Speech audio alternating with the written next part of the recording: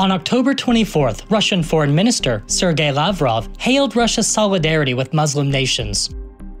Quote, Russia and the states of Islamic civilization are long standing, reliable partners, cooperating in ensuring security and stability and in solving economic problems. But the impression that Russia gets along well with all Muslims is misleading.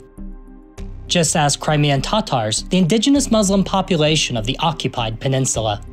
In 2014, they came under persecution for objecting to Russia's illegal annexation of Crimea from Ukraine. Russia outlawed the representative body of the Crimean Tatars, called the Majlis, and the Crimean Tatar TV channel was closed.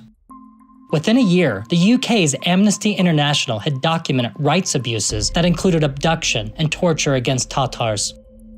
More abuses followed, and since 2014, some 10% of Crimean Tatars have fled to mainland Ukraine.